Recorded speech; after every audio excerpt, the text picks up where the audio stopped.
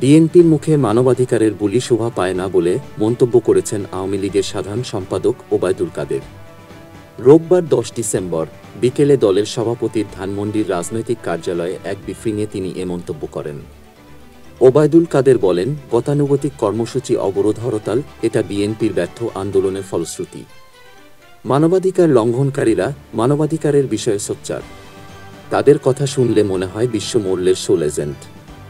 তিনি বলেন, মানবাধিকারের কথা বলতে হলে ফিলিস্তিনের কথা বলতে হবে।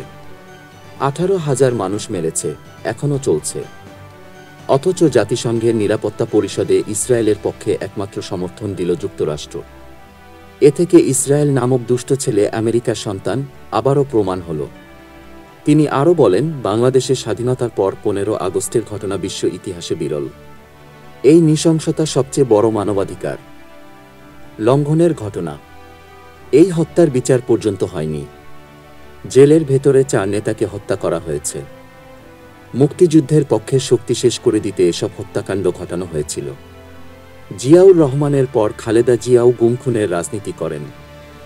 দেশে বিএনপি মানবাধিকার লঙ্ঘনের ঘৃণ্য উদাহরণ সৃষ্টি করেছে। তারা মানবাধিকার লঙ্ঘনের রেকর্ড ভেঙেছে। ওবায়দুল কাদের বলেন, আজ মানবাধিকার লুণ্ঠিত হচ্ছে যাদের হাতে তারাই মানবাধিকার নিয়ে বেশি সোচ্চার।